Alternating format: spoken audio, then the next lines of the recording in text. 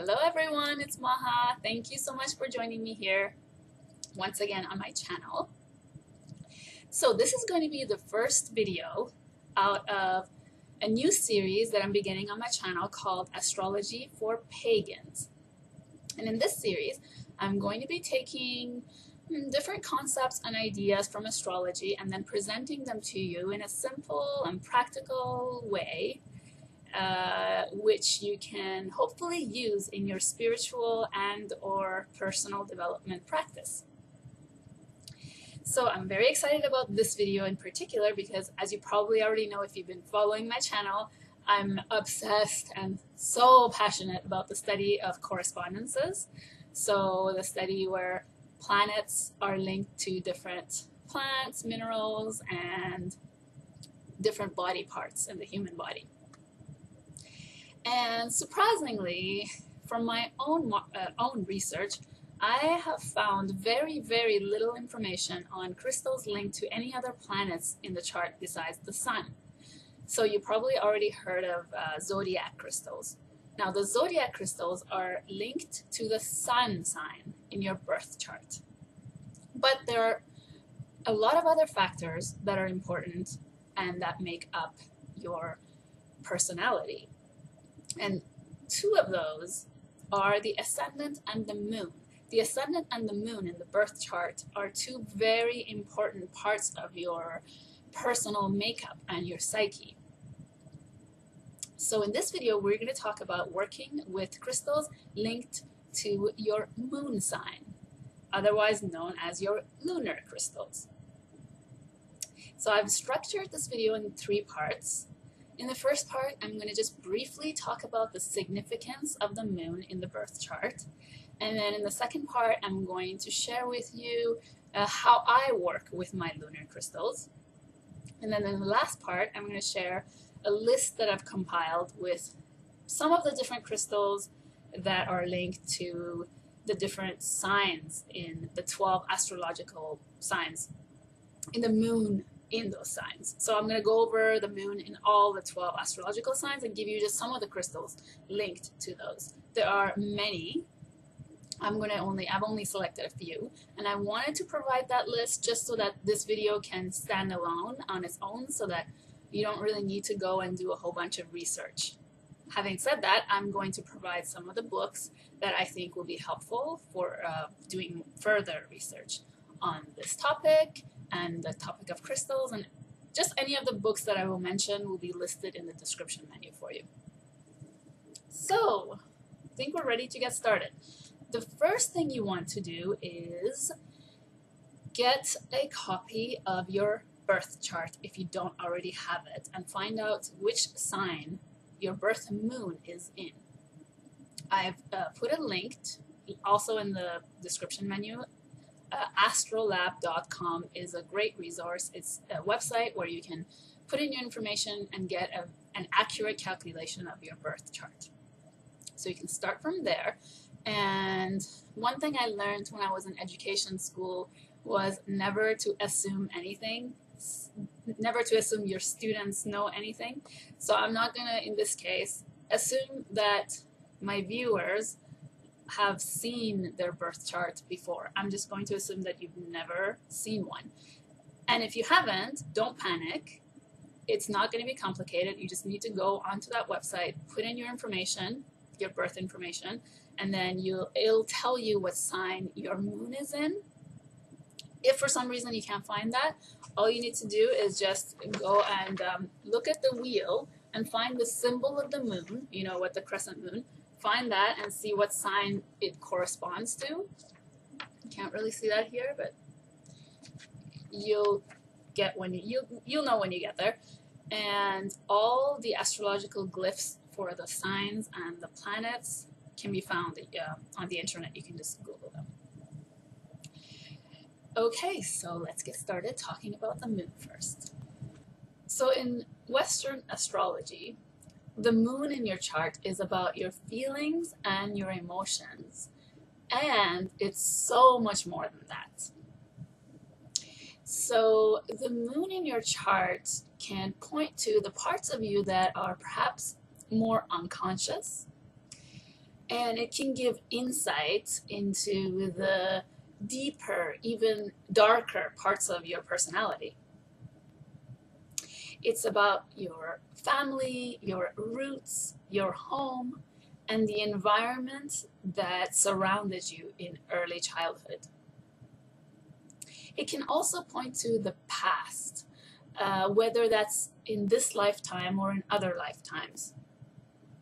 It also relates to anything to do with the mother and mothering in general, and your relationship to the mother, and more importantly, your experience of mother, the experience you've had with your biological mother.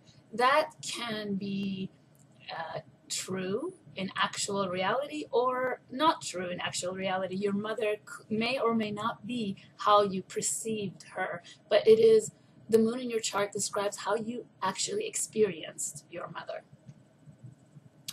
It is about your memories, your intuition, instincts, and your re, uh, your instinctual emotional reactions. Now, we must remember that the moon on its own doesn't have any light. So the light that we see coming from the moon is the light that's reflected from the sun. So in essence, the moon by its nature is reflective and it's reactive. So it's how you predominantly react in emotional situations. It is also your soul food. It's what you need to feel nurtured what you need to feel safe and secure in the world. And the sign that your moon is in can also point to your relationship to food and eating. So as you can see, these are just some of the things that the moon is about.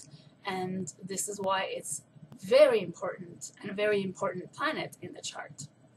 So it's a good idea to get acquainted with the sign that your moon is in. Uh, really get to know the sign, get to know what the moon in that sign needs to feel nurtured, to feel comforted, to feel safe in the world. A really great book that I recommend um, in really getting to know the essence of each of the 12 archetypal astrological signs is a book by Steven Forrest called The Inner Sky. And what I love about this book is that it really, he really paints the atmosphere of each sign. Uh, he doesn't, it's not a cookbook book where you have um, how the moon behaves in every sign. Uh, instead, you have just the signs, each individual sign. He goes through what the sign needs, the lessons of the signs, the shadow aspect of each sign, and it's really well written, simple to read, easy to understand, and really to get a full grasp of each sign. That's a book I recommend for all beginners and for anyone interested in astrology. And then a really great book for getting to know the moon and working with the moon, which is my it's my go-to book for anything to do with the moon. It's a book by Donna Cunningham called Moon Signs: A Key to Understanding Your Inner Life. I believe I'm gonna put these books, like I said, in the description menu for you. And this book is really phenomenal. It's very it's very comprehensive. It covers basically everything to do with the moon. It's an older book. It's written, I believe, in 1988, so it's been around for quite some time. And Donna Cunningham is she's a, a, legendary. She's a pioneer in astrology, and she's written other books. And in this book, she covers everything from working with the moon in uh, the different phases of the moon and the moon in as the moon goes through each sign uh, through the calendar year. And then also she talks about the moon signs and your birth moon sign and the lessons you can learn from your birth moon sign. Um, there's even a chapter called how to mother yourself. And there's chapters on what each moon sign needs to feel nurtured. And she talks about uh, lunar burnout, which is a term she uses when you've pushed your moon a little too much. And then she talks about how to work with those things. It's a really, really great book. The language it's written in is not it's not the um, metaphysical new age language that's very popular right now. It's just more of a practical language and I mean I, I really love that book. So it's a good idea to get to know your moon, the sign that it's in, to really understand it. And you might find that there are parts of you that really resonate with the moon, and then there's parts of you that resonate with your sun. Some people I've heard actually feel more connected to their moon than they do to their sun sign, which is interesting. Uh, and one more thing nothing in the chart is isolated and on its own. Everything is connected to the entire chart. All planets are in relationship with the rest of the chart. Nothing is separate, and nothing is separate on its own. Even if a planet is uh, completely isolated, it still behaves uh, in a specific way in the chart. So we always look at the whole chart. And so well, the reason I'm saying this is to always remember that if you have like, if you have a moon in a certain sign, that doesn't mean that you're automatically going to resonate with everything that sign uh, stands for. A perfect example is uh, two people who have moon in Capricorn. One of them is Adolf Hitler. One of them is the Dalai Lama. So completely different people, right? But they have moon in Capricorn. So it's how the individual uses the energies in their chart and it's also their consciousness, which is all, uh, it's, a, it's a topic for other videos, which I'm going to explore hopefully later on in the future in this series with you. And Mm, you will find you don't you don't necessarily actually need to know anything about the sign that your moon is in if you want to work with the lunar crystals. It's just it's just good to know. It's just good to know for yourself and it will also help you to connect to the crystal intuitively. It will help with that. For example, I have the moon in Capricorn and one of my crystals for moon in Capricorn is blue lace agate. And I love that crystal so much. I just always resonated with that crystal very much. Just, just love it. And I was working with uh, that crystal in the technique that I'm going to talk about in a moment with you. And I found that I was having dreams where where I would come up with certain aspects of my moon sign, moon in Capricorn, and I would kind of put the two in together, the two and two together, and kind of find out what blue lace agate is telling me for my moon sign. And to be honest, every time I read anything about blue lace agate in the books and online and stuff, I never really felt that it was true for me for example, with that crystal specifically, there's a lot of links between the throat chakra and speaking your truth. And I didn't really feel like that was necessarily true for me. But working with this uh, crystal in the way that I'm going to describe in a minute actually revealed so many things that I wouldn't have otherwise known. Okay, so now let's go ahead and talk about how we're going to work with the lunar crystals. Okay, so now let's get to the fun part enough about theory, let's get to practice. Now I'm going to share with you how I use my, how I work with my lunar crystals. And this is something I've kind of developed throughout the years from my own personal research, my own personal experience of working with the crystals, and also my own intuitive guidance. So you're welcome to use it uh, the way I'm going to describe or borrow any parts of it and incorporate that into your own practice if you wish. So first thing, when I get any new crystals and bring them to my home, the first thing I do is I like to let them sit outside in the rain. And I live in Vancouver, Canada, and it rains a lot over here. We're never shortage of rain. And I just, it's my favorite technique really, um, for any crystals, of course, that are not soft and that won't melt in water. Because I feel that it's just refreshing to the crystals and, you know, nothing better than rainwater rather than tap water. I'd rather use rainwater. And I even collect rainwater. I have collected rainwater, which I always keep in storage, and I use that as well. If it's not raining, I just soak my crystals in there. So that's what I usually do when I bring any crystals to my home. If they are too soft, and if I can't put them in rainwater, then what I do is I use the mirror technique. This is a technique that I haven't really heard many people talk about, and it's one that I learned from a book called Crystal Enchantments by C.J. Conway. It's very simple, and I really love it because it's so simple. So basically, all you do is you have a, a mirror, and I have one on my bedroom altar, and you just place the crystals on top of the mirror. And what happens is that the mirror absorbs the negative energy from the crystal and then reflects it back out into space. So that kind of thing. And I do that with my crystal jewelry as well. I find it so easy. You know, I just put it on the mirror and 24 hours later I'll grab them. And then what I always like to do with new crystals is sage them. I find sage very powerful for cleansing. And so I do that with all my new crystals. Now, the cleansing technique I use for working with my lunar crystals is a little different. So what I do is seven days, seven to 10 days before the full moon, I'll start my cleansing. And the cleansing process is seven days. I'm going to talk about the significance of the number seven in a moment.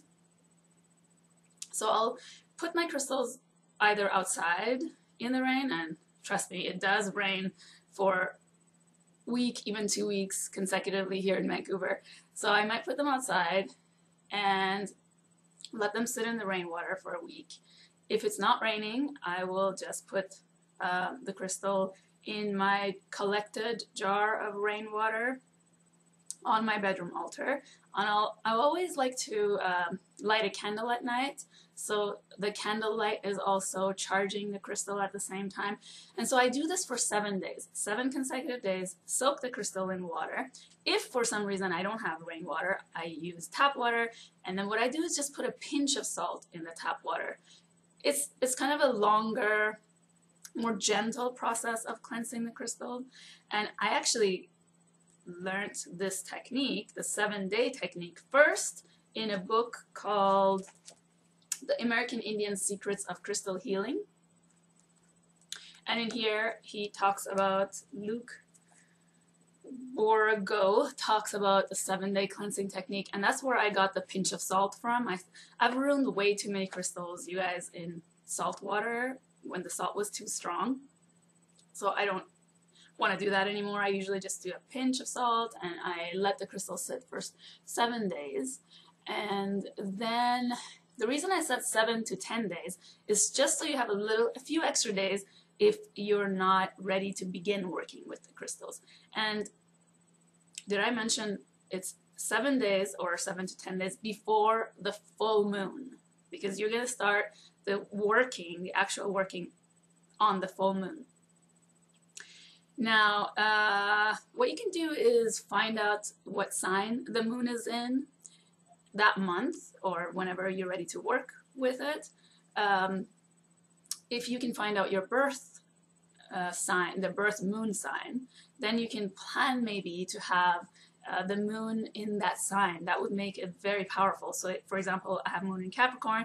Then, if I can find out when the moon is in Capricorn on a full moon, that would be super powerful. But of course, that's not always um, very practical because then you have to wait for a long time or maybe sometimes you have to wait for a while. So uh, the next best thing is to find out when the moon will be in the same element as the your birth moon sign. So for example, moon in Capricorn, Capricorn is an earth sign. So I can find out when the moon is in Virgo, the full moon is in Virgo or in Taurus and that will make it harmonious. Having the same element will make it harmonious to your own birth moon. If you can't, uh, if it's still not practical to get the moon, the full moon in an earth sign, for example, for me, that I, I, let's say if you have a moon in fire sign, if it's not practical to find other fire signs, then you can find then you can find another moon sign that has uh, similar energy. So the yin and yang energy. So there are four elements. The air, air and fire are yang, for example, and earth and water are yin. So I could find with my moon in Capricorn, um, moon in any water sign, if that's more practical. If I'm just so anxious to start working with my moon crystal and I don't want to wait uh, until the, the full moon goes in Virgo, Capricorn, or Taurus, I can look for when the full moon is in Cancer or Scorpio or uh, Pisces, the other uh, elements, water elements, yin elements. So you kind of know what I mean. And when you find when that moon, the full moon is, when you're ready to work with it, then you, you, you do your process of cleansing the crystal seven to 10 days before. And so if you start cleansing a week before the full moon, then that would mean that you're ready to charge your crystal in the full moon on the eighth day. So a week before you start your cleansing and then on the on the eighth day, that's the full moon. That's how you'll um, calculate it. So when you finish the seven days of cleansing, on the eighth day is the full moon. Or if you have a few days in between, that's fine too. Um, if you have a few days in between, what I like to do is just to put my crystals um, inside a Ziploc bag, which I didn't bring here to show you. I usually have a Ziploc bag full of um, dried rose petals uh, that I've collect, harvested and collected and dried lavender. So I'll just let the crystals sit in there or I'll put them directly on my lavender and I'll insert a picture here to show you both that and the crystals being charged under candlelight.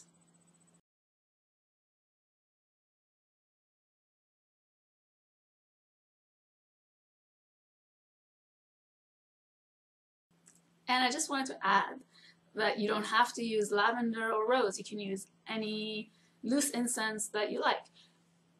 What you do is find uh, which herbs are linked to the moon and then you could just let the crystals sit on top of that or in a Ziploc bag. For example, Roman chamomile is linked to the moon. Sage is sometimes linked to the moon. I use lavender and I find uh, lavender is, for me, connected to the moon. I use lavender and rose because lavender is, I find a very nice herb to use when I want to work with the moon's energy in a peaceful manner and rose is always good because rose stands for love and anytime I work with the emotions, I like to use something that is has a loving energy.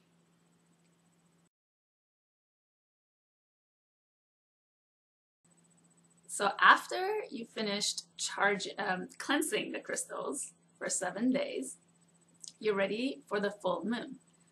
Now on the night of the full moon, what I do is just put my crystals outside or on the windowsill to bathe in full moon for the night.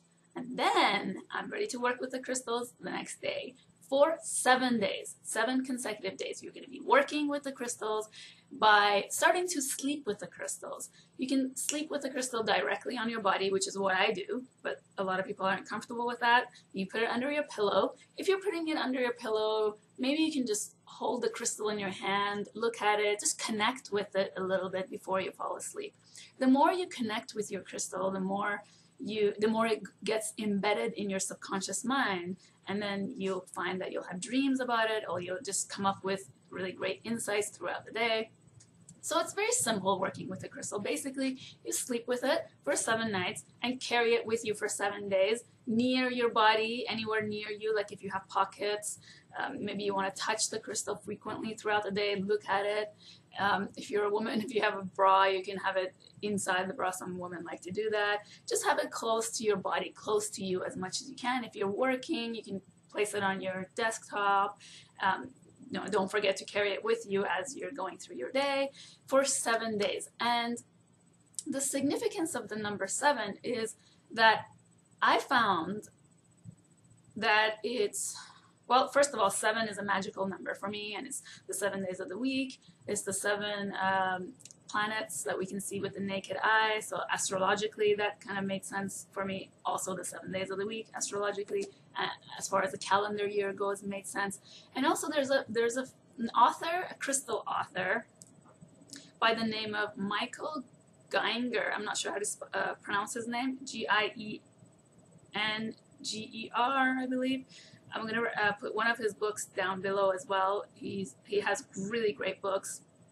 One of them is I think called Crystal Power, Crystal Healing. I'll link it down below. So he's done a lot of extensive research on crystal healing, and he has actually worked with quite a number of people and done surveys with how they found the crystal affecting them. And he found that most people reported that the third and the fifth days were the days that they felt the effects of the crystal the most. So he suggests working with a crystal for seven days, and that's where I borrowed this idea from. Working with crystals for seven days to really see how they affect you. And I decided to do the seven day cleansing, and like I said, this is all for my own intuition.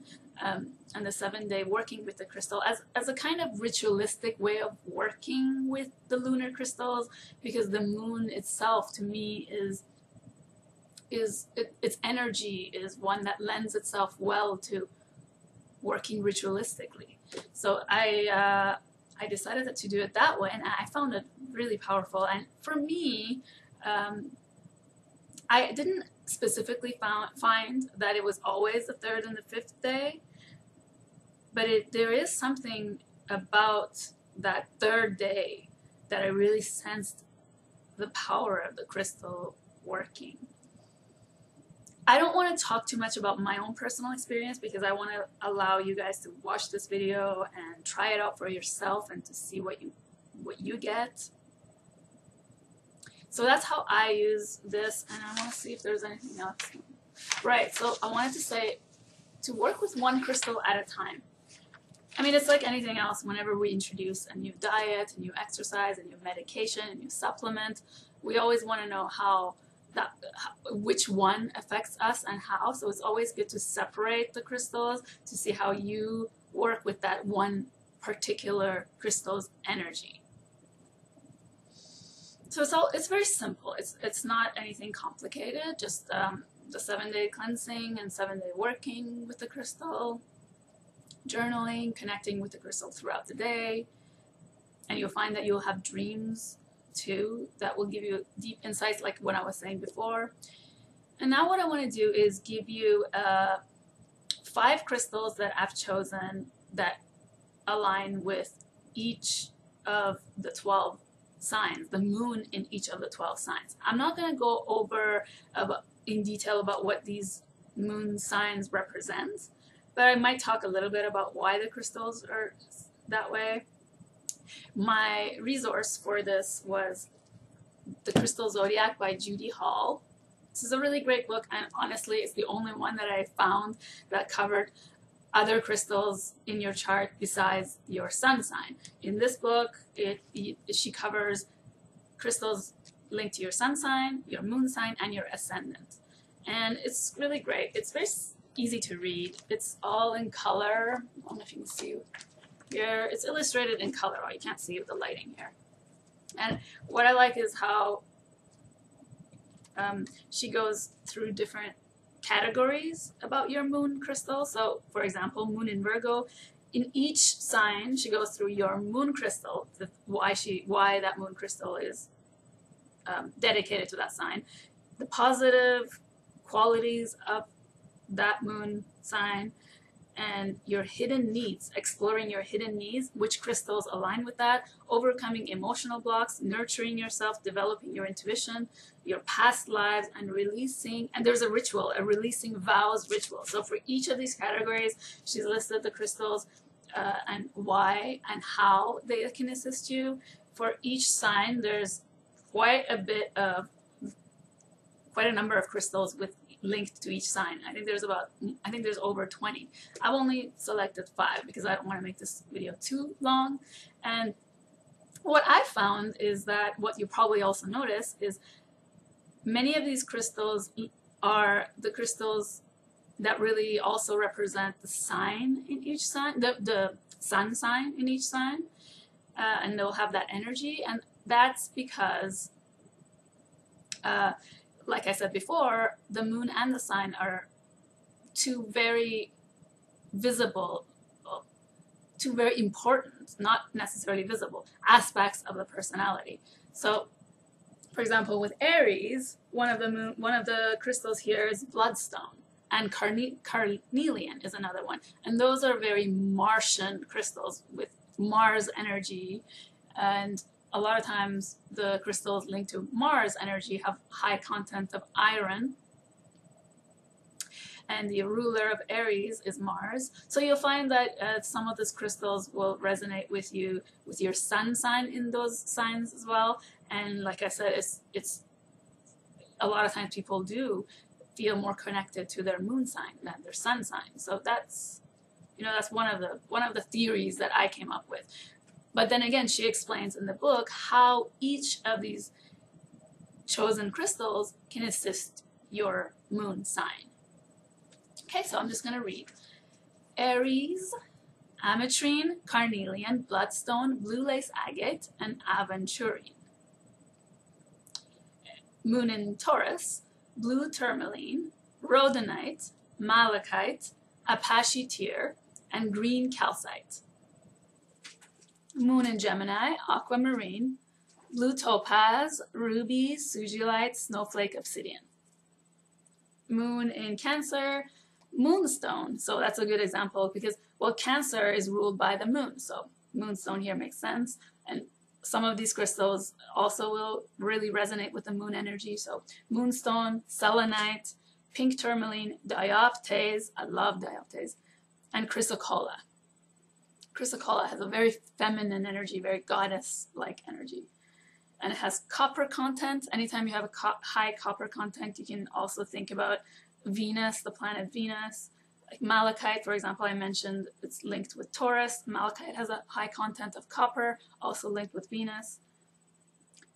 And moon in Leo, apop apophyllite, I don't know if I'm pronouncing it right, apophyllite, hiddenite, larimar, calcite, and rose quartz. Moon in Virgo, amethyst, blue topaz, azurite, smoky quartz, and jasper. Moon in Libra, aquamarine, celestite, sugilite, watermelon tourmaline, and iolite. By the way, everyone, my voice, I don't know if you've noticed, it's kind of scratchy. I was sick, really sick for a couple of weeks, which is why I haven't made videos in a while. So bear with my voice. Scorpio, Moon in Scorpio. Apache Tear, Hawk's Eye. Hawk's Eye. I can really resonate with that. It's very Scorpio, even though it is also linked to Sagittarius. Um, the hawk itself is one that can be linked to Scorpio. So Hawk's Eye, Smoky Quartz, Black Obsidian, Labradorite. Moon in Sagittarius, Azurite, Lapis Lazuli, Topaz, Wulfenite, Lepidolite. Moon in Capricorn, Snow Quartz, Blue Lace Agate, Serpentine, Moonstone, Galena. Now, I want to just mention something about Moon in Capricorn because I have that Moon in Capricorn. So Moon in Capricorn is very, very far away from its home. Moon resides in the fourth house in Cancer. So across uh, Cancer, right opposite 180 degrees, is the sign Capricorn. And every time you have a planet that's very far away from its own sign, feels a little cold, a little uncomfortable, needs a lot of nurturing. And so I've found what I've noticed from reading this book and from looking at these crystals and working with some of them is that these crystals are they assist with what the moon needs. Different ways like i was talking about the moon and the different moon the different things that the moon represents what the moon needs in different ways. So emotionally uh, what it needs to be nurtured these crystals can assist with that. They not that the moon in capricorn for example is weak or anything. It's just to bring out what it needs to feel more at home if that makes sense. So moon in Aquarius, aquamarine, rhodonite, celestite, chalcedony, selenite. Moon in Pisces, angelite, aventurine, fluorite, kunzite, and sunstone. That's a very interesting one, right? Sunstone, linked to the sun, Pisces, not at all what we think of when we think of the sun, but Pisces is the last sign of the zodiac. It's the sign of the deep ocean, the collective unconscious, mm, the mystical sign. And sun, sometimes moon and Pisces, I mean, Pisces is the hidden part of the chart, uh, the part where, you know, some, some things are hidden. It's, it's, it's called the house of secrets. So over there, the moon needs a little bit of light, which, as you can see, is how the sunstone can assist with what the moon may need to. Maybe the moon in Pisces, not always, of course, like I said, it depends on the rest of the chart, but moon in Pisces could perhaps be prone to depression or to dark feelings. So here the sunstone can lighten that up. And I think that's all I'm going to say. So I really hope you enjoyed this video. I hope you really get something out of it. Please comment. If you feel free to comment and tell me what you think. And if you have any suggestions for any videos that you'd like to see for astrology for pagans, let me know. I will take that into consideration. I'm not sure when I'll be able to make um, the next video in this series. It's sort of a long-term project that I thought I'd start. And then as I go along, as I feel guided to, I'll add more videos to it. One video I know that I really want to do and I'm excited about is working with uh, finding out your the phase that the moon is in in your birth chart. So the moon phase in your birth chart, the phase that the moon was in when you were born, and what that means and how to work with that. And I also want to do a video on balancing the elements in your chart, how you can balance them through everyday activities, and and lots of other things. So thank you for watching. Thank you for being here. Sending you lots of blessings, lots of love. I'll see you in the next videos. Bye.